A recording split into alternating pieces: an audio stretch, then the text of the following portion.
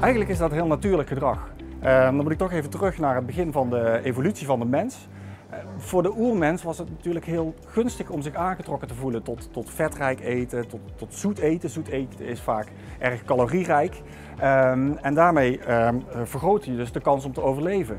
Nu werkt diezelfde trek, letterlijk en figuurlijk, tegen ons. Omdat we nu leven in, een omgeving waarin voedsel um, in, in overvloed uh, tot onze beschikking is. En dan werkt die, die trek juist tegen ons. Dus eigenlijk is het heel natuurlijk om um, geen nee te kunnen zeggen. Uh, maar tegelijkertijd is het natuurlijk voor onze gezondheid niet altijd even gunstig.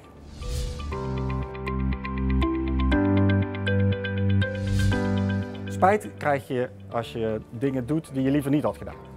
Um, het kan heel nuttig zijn, omdat je dan op basis van die spijt misschien wat minder snel geneigd zijn, zult zijn om een volgende keer datzelfde gedrag uh, te vertonen. Maar aan de andere kant, als dat te vaak gebeurt, dan word je natuurlijk doodongelukkig van. Um, uh, wat je daaraan kunt doen om dat te voorkomen is om je doelen wat minder hoog te stellen. Vaak zijn mensen geneigd om hun doelen zo hoog te stellen dat je eigenlijk alleen maar kunt falen. Een doel als ik wil flink afvallen, nou, dan kun je eigenlijk wachten op het moment dat je gaat falen en daar de spijt krijgt en daar dus niet gelukkiger van wordt. Dus eigenlijk zou je je doelen veel concreter en realistischer moeten maken. Goede vraag. Uh, het is in ieder geval niet zo dat hoe harder je iets wil, hoe erger je iets wil, um, dat die voornemens vaker gehaald worden. Um, het is veel belangrijker dat je jezelf de vraag stelt, waarom wil ik dit eigenlijk? En als het antwoord op die vraag is dat het eigenlijk vooral is omdat het iets is dat andere mensen van je vragen, dan kan ik eigenlijk nu al voorspellen dat dat voornemen gaat stranden.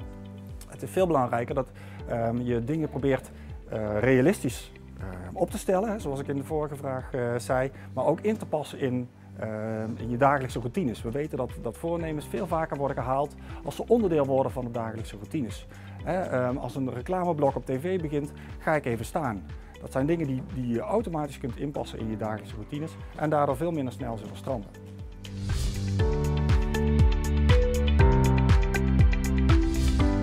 Meteen drastische sportschool induiken is niet verstandig, zeker niet als je dat nog nooit uh, gedaan hebt daarvoor. Um, het doel is te hoog, is niet realistisch, faalervaringen staan klaar om de hoek en het is veel moeilijker om dat in te passen in je dagelijkse routines. Uh, het mooie van, van gezond gedrag is dat er meerdere wegen naar Rome leiden. Je hoeft niet per se naar de school, sportschool te gaan om je gezonder te gedragen. Um, je kunt ook met, met kleinere veranderingen in je, in je gedrag een hele grote impact hebben op je, op je gezondheid. Um, een tip daarbij is om je omgeving zodanig aan te passen dat gezonde keuzes makkelijker worden. Een mooi gevulde fruitman bijvoorbeeld um, lokt gezond eten veel meer uit dan fruit dat je ergens in een hoekje hebt weggestopt.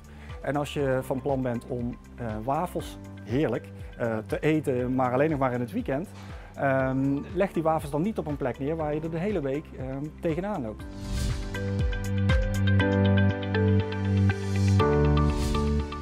Er bestaat inderdaad een nieuwe beweegrichtlijn sinds afgelopen jaar.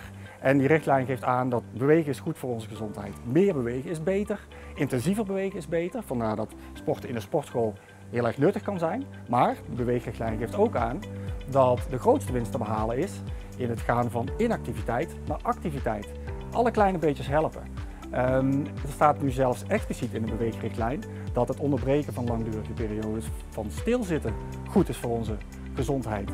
Dus uh, het zit hem vaak in die kleine dingen die de meeste impact hebben op, ons, uh, op onze gezondheid. Dus um, hopelijk is, deze nuancering van de, van de richtlijnen, van de nieuwe richtlijnen, voor jou een mooie uitdaging en een mooie aanleiding om uh, je gezonde voornemens voor het komende jaar te laten slagen.